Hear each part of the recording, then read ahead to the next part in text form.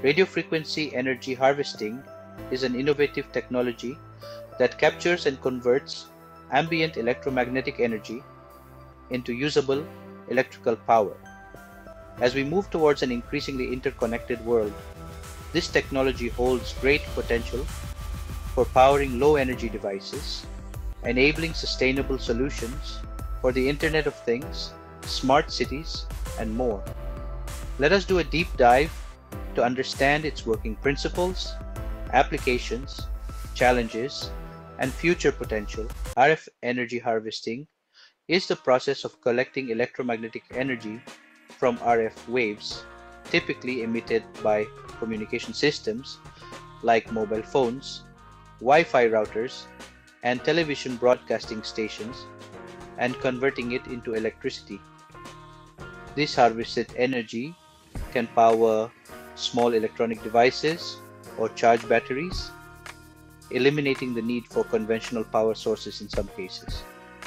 RF energy harvesting leverages the fact that our environment is saturated with RF signals, creating an opportunity to reuse this wasted energy sustainably. If you're liking my videos, don't forget to subscribe to my channel for more content like this. Thank you for subscribing. The process of RF energy harvesting involves three main components. RF waves are emitted by various devices such as mobile phones, base stations, Wi-Fi routers, and radio towers. These waves carry energy that can be harnessed. An antenna is designed to capture RF waves efficiently. The design depends on the frequency of the RF source with common frequencies ranging from a few megahertz to gigahertz. The captured RF energy is in the form of alternating current.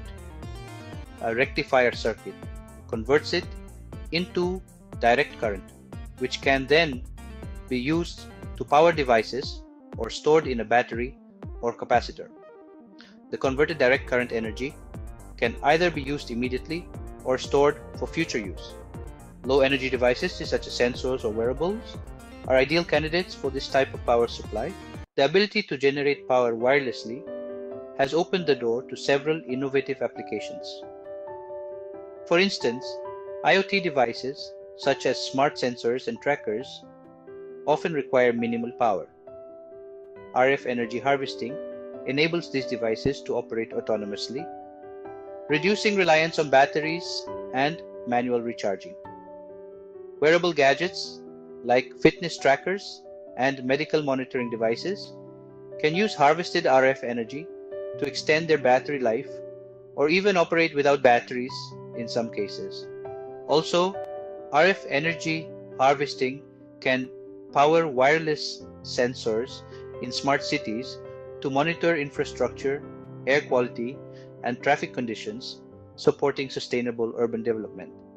Implantable medical devices such as pacemakers or glucose monitors can potentially use RF energy harvesting to reduce invasive battery replacement surgeries. Plus, RF energy harvesting enables wireless charging of small electronics, eliminating the need for physical charging ports and cables. In areas where power infrastructure is unavailable, RF energy harvesting can provide a sustainable power solution for essential devices.